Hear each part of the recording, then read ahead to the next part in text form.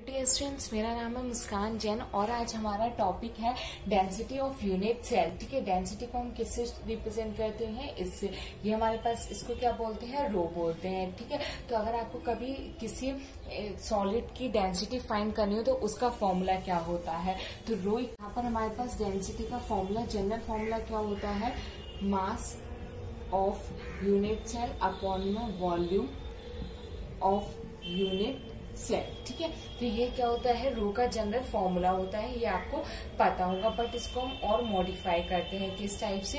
कि जैसे कि हम पर मास ऑफ़ यूनिट सेल कोई भी हमारे पास जो यूनिट सेल होती है, वो किस चीज़ से बनती है? लेटिस पॉइंट से तो बनती है तो number of lattice points into उनका मास ठीक है? तो जैसे कि लेटिस पॉइंट को हम किससे डिनोट करते हैं? जेड से।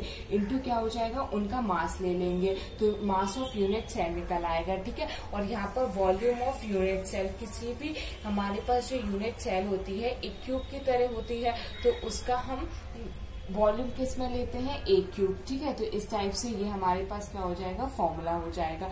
बट यहाँ पर जो एम होता है, वो होता है mass of one lattice point, ठीक है? तो इसको हम क्या करते हैं? आवोगाद्रो नंबर जो होता है, उसे डिवाइडेड करते हैं। तो m इक्वल्स हो जाता है m अपॉन एन ए ठीक है? ये हमारे पास आवोगाद्रो नंबर होता है 6.023 point zero two three into ten to the power twenty three ठीक है? ये हमारे पास होता है। तो यहाँ पर क्या लिखेंगे? z इंटू यहाँ पर वैल्यू लिख देंगे, m upon N A into में क्या लिख देंगे? ए क्यूब ठीक है? और ये हमारे पास रो। तो इसका जो फॉर्मूला होता है, जो आप न्यूमेरिकल्स में अप्लाई करोगे, वो ये होता है, ठीक है?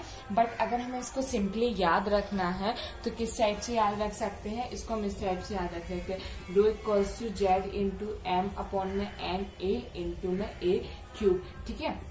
रो इक्वल्स टू इसको क्या पढ़ेंगे? जा, इसको पढ़ेंगे माँ, इसको ना, और यहाँ पर ये ये, ठीक है? इस टाइप से तो ये क्या हो जाएगा? रो इक्वल्स टू जा से जेड माँ से एम ना से एन ए और यहाँ पर ये ए क्यूब ठीक है? तो इस टाइप से ये इसकी ट्रिक होती है जो हम इसको लर्न कर सकते हैं density of unit cell okay तो आई होप आप लोगों को ये समझ में आया होगा। Thank you so much